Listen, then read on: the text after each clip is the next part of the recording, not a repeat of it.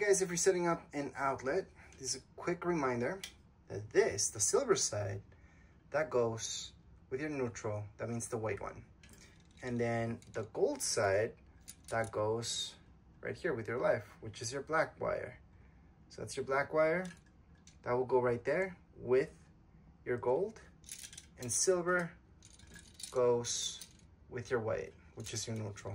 So you guys can just screw it on here or on the back. You guys will see those holes. You guys can just insert it there.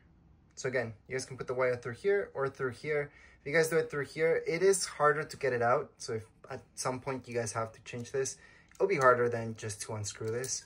And then right here for your white wire, which is with your silver, again, I set it there because I'm just not gonna move it ever. So it's okay. And I know it's a little bit harder to get those wires out, but it's all right. And down here below, this is your ground, okay? So this one right here, that would be your ground. So whatever you guys have left over, basically, will be your ground, and you have no choice but to put it there. Um, well, I guess it depends on your outlet, but here you go, guys. Hopefully this helped you guys out. That would be it for today's video. If you guys have any comments, questions, you guys can write down in the comments area. Don't forget to subscribe and like. Thank you.